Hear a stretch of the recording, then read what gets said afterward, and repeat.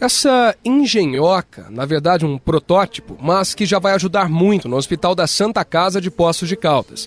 A entrega foi realizada na manhã desta quarta-feira e agora ela já poderá operar com uma equipe multidisciplinar do hospital. Esse dispositivo vai proporcionar trabalhar com o paciente né, sedestado na beira-leito, ao invés de levar ele para poltrona é, proporcionar o trabalho de tronco de membros superiores, membros inferiores, e assim como a equipe multidisciplinar, né, com a, a, a fono, trabalhar junto com a fonoaudiologia, com o pessoal da psicologia.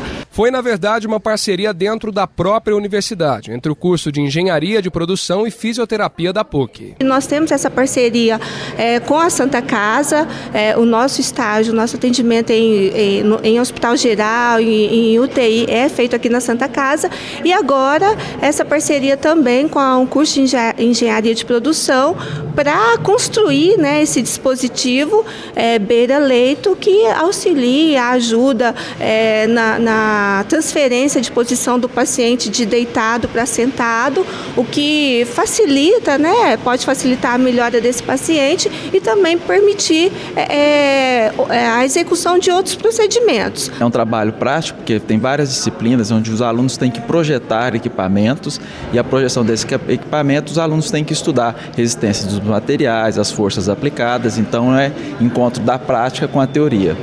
Os alunos que puderam então aplicar tudo o que aprendem na sala de aula, agora na prática. Participar da confecção e do manuseio dele é, foi para mim assim de extrema importância porque é, é, uma muito simples, foi muito simples mesmo esse é, a confecção dele e, e o final de tudo foi perceber o quanto ele vai ajudar mesmo na população. É muito bom ter projetos assim, porque a gente cresce, o nosso currículo fica mais extenso, mais, mais com, com mais conhecimento, né?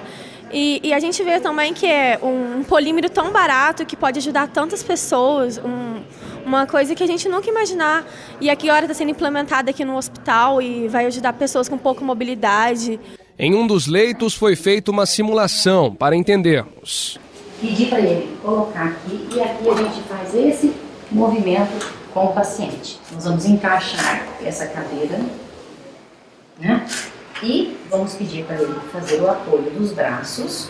E se ele tiver condições, ele pode afastar. Ou então, o fisioterapeuta que está posterior à cadeira, né? Ele pode dar uma sustentação no tronco e ter um, um encaixe melhor, né, uma posição melhor em relação à coluna, né? Realmente são vários benefícios. Ela viabiliza tanto para os nossos alunos de graduação, como para a equipe multiprofissional, né, é, entre todos, é, a facilidade de sentar esse paciente e ter os benefícios da posição sentada, evitando então esses grandes malefícios do dele estar acamado no leito numa mesma posição e mesmo diversificando essa posição, tá, no leito.